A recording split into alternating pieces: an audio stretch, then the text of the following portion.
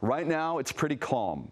But this afternoon, when this picks up, when that core comes into Southern California, the lower deserts are going to get hit pretty hard. As long as it stays on this current course, we could see major flooding over uh, the lower deserts from Palm Springs and beyond.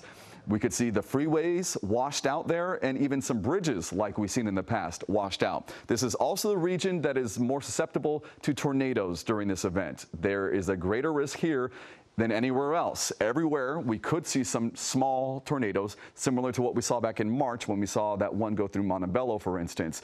A short span of life for that tornado, but enough to cause damage and rip off roofs off of warehouses and whatnot. So let's move north on our radar. This area as well is going to be later today a big problem spot, especially these mountain areas. Uh, we can see up to 10 inches of rain falling today in some of our mountain communities, up to a foot of rain in some of the eastern slopes because the system's coming around and therefore it could cause more rainfall on the eastern sides as there's that uplift on that side of the mountains.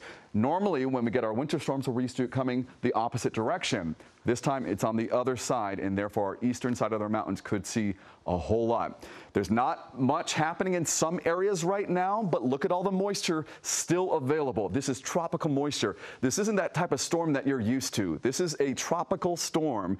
This means that it's going to be harder rain, it's going to be faster rain, it's going to be coming down uh, pretty quickly, and therefore flash flooding is the big concern. As right now, it is a not a hurricane anymore. It's a tropical storm with sustained winds of 65 miles per hour moving up the coast of Baja. Now, this turn here is pretty interesting, and we're going to keep a close eye on this. We're going to look into what the National Hurricane Center is saying about this turn here. We're hoping to get an update from them soon. But in the meantime, as it's south of us, Flash flood warning. This was that big breaking news we talked about. All of LA County, portions of Ventura County under this flash flood warning through tonight. Okay, so steady rainfall expected to really ramp up in LA County and everywhere else. That's why everybody's under this flood watch through early mornings to early morning hours tomorrow. Mountains could see 5 to 10 inches like I mentioned. The lower deserts and the upper deserts could see up to 7 inches. IE in valleys 2 to 4. The coastal spots 1.5 to 3 inches